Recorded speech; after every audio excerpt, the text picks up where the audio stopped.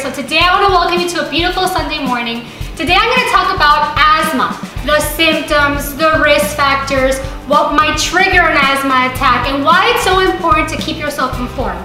According to the WHO, 235 million people worldwide suffer from asthma. In the US alone, 25 million people have asthma, and of those 25, 7 million are children.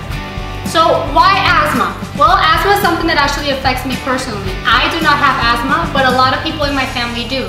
My mom, my sister, my sister's husband, so my brother-in-law, and their child. My nephew also has asthma. He's eight years old now, and so his asthma is very well controlled at the moment, but we did have a lot of scares.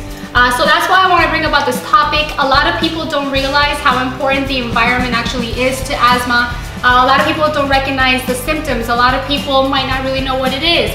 A lot of people might not recognize the difference between anxiety and panic attacks and asthma. And these are two things that kind of go hand in hand sometimes.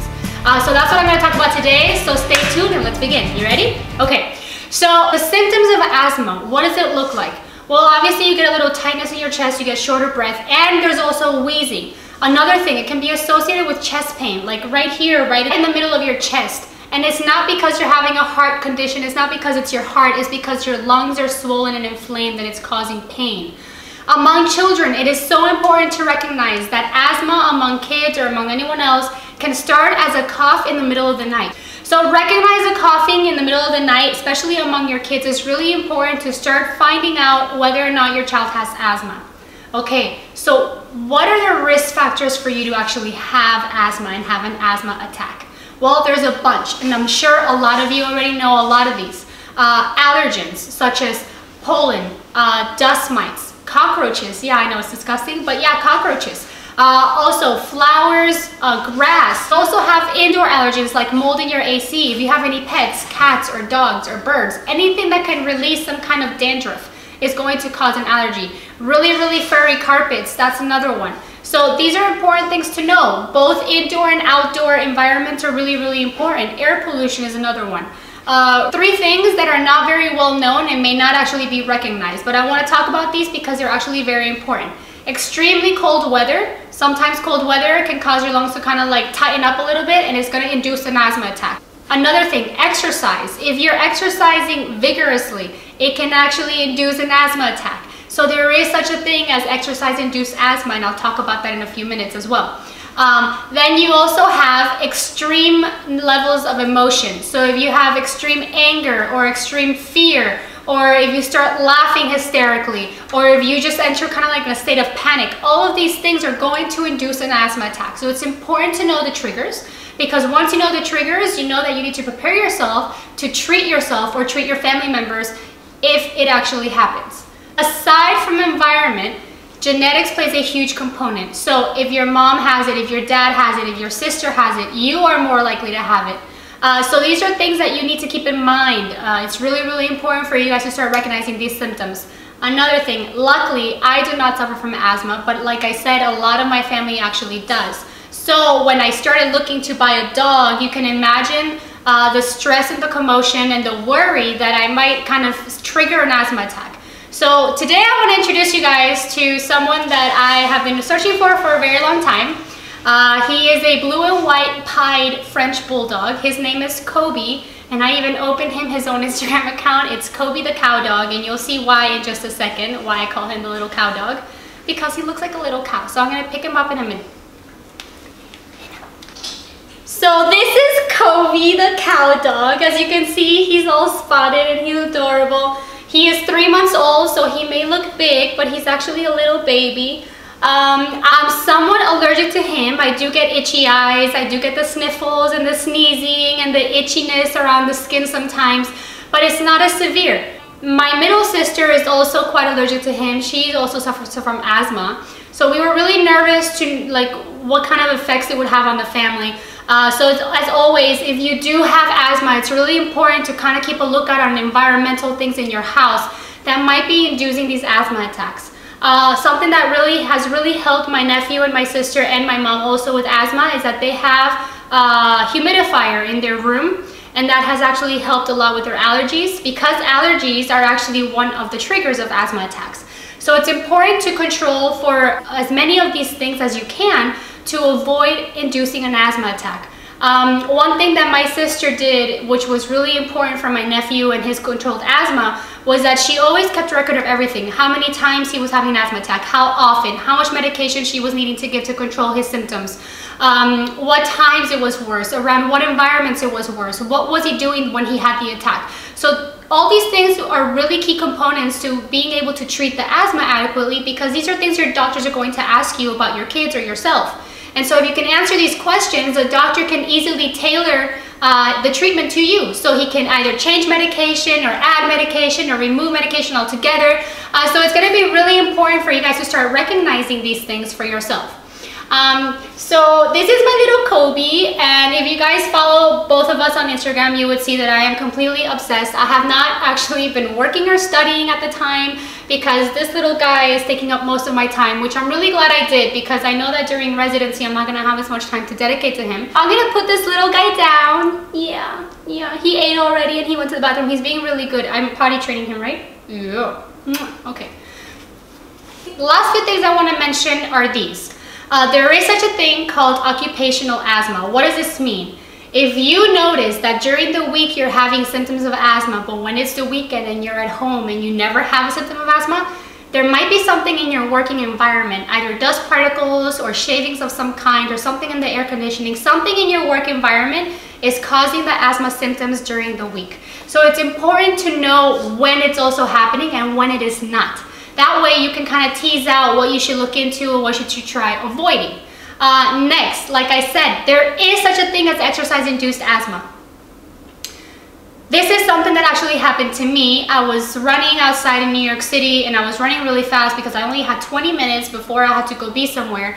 So I went out and I was running extremely fast, but it was so cold outside. When I got back to my apartment, I felt severe tightness in my chest. I literally collapsed to the floor in pain. I started coughing. I could barely breathe. I got really scared. I had to call my family. I was freaking out. And as time went by, I was able to breathe a little more. I calmed myself down. So my symptoms weren't as severe, but sometimes I do have exercise-induced asthma. It's if it's really, really hot and humid outside and I'm exercising vigorously, the same thing happens. If it's really, really cold outside and I'm exercising rigorously, it also happens.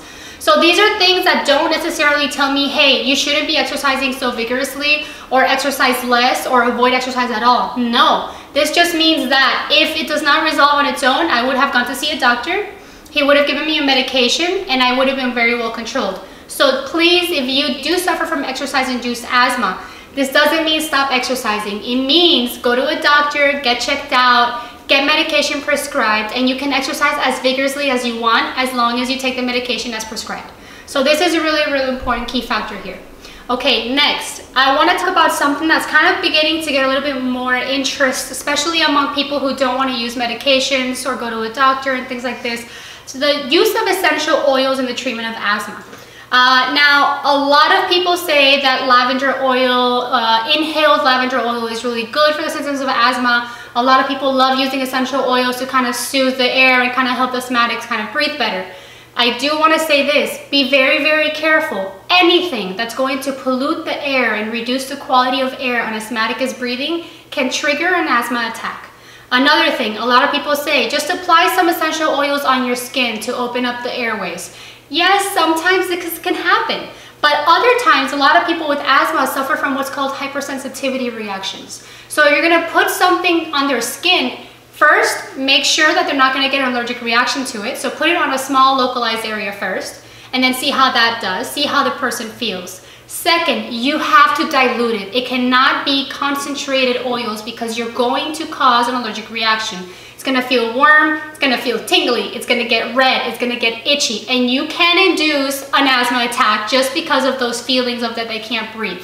Um, lastly, the one other thing that I wanna say about these kind of like inhaled essential oils is that there has been some research done, and if, if children ingest between three and five milliliters of this stuff, it can actually induce seizures or induce a coma. So no, the point of this is not to freak you out to the point that you never touch an essential oil or you never buy an oil. What I want you to do is to use these things very, very intelligently, educate yourselves, ask your doctors questions, test it with your kids with supervision of a doctor. Make sure it's gonna be okay for you if you're an asthmatic, your family members if they're asthmatics. So things like incense, essential oils, really strong candles, really heavy perfumes or Lysols, things like that, they can actually change the quality of air and induce an asthma attack. And the last thing that I wanna say is that asthmatics actually have been found to have comorbid, or sometimes what we say is associated diseases in mental health. They suffer from anxiety and panic attacks. Uh, in fact, uh, people who have had severe asthma attacks are more likely to suffer from panic attacks later on. Uh, so like I said, just be very, very careful on what you use if you have an asthmatic in the house. Be very conscious of your environment when you have an asthmatic in the house. And above all, please don't feel like you're alone. So many people, like I mentioned at the beginning of this video, suffer from asthma. It's a very difficult disease to deal with, especially if it's not well controlled. I do want to say that there have been studies and a lot, a lot of people, sometimes their symptoms get better as they age. Sometimes they even go away altogether. Sometimes they get worse. Sometimes they go away and they never have another asthma attack for years until they're much, much older in their adulthood and all of a sudden their asthma picks up again. So just be wary that just because you're not having asthma and you were prescribed an inhaler, make sure you always have it with you no matter where you're going because God forbid you have an asthma attack and you don't have your inhaler. Uh, so that's something that's really, really important. If you guys have any questions, please write down something below or follow me on Instagram and send me a DM, uh, a direct message, and I'll answer you through there. I will see. Don't forget to subscribe to the channel so you can see my future posts. And if you like this, please like it. If you didn't, that's okay. Just go ahead and hit dislike and tell me what you hated about it. That way I can change it because I want you guys to like what I'm filming and I want you guys to like the content. That's the whole point of me doing this is for you guys to get something out of it, not for me. So if you guys don't like it, I'll change what I'm doing. Uh, you guys have a good weekend, well, rest of your Sunday, and have a great rest of the week. I'll see you guys next week. Bye! All have. Kobe! camera and it shook. you also have... uh, grass you, uh, in life. So this is really, really...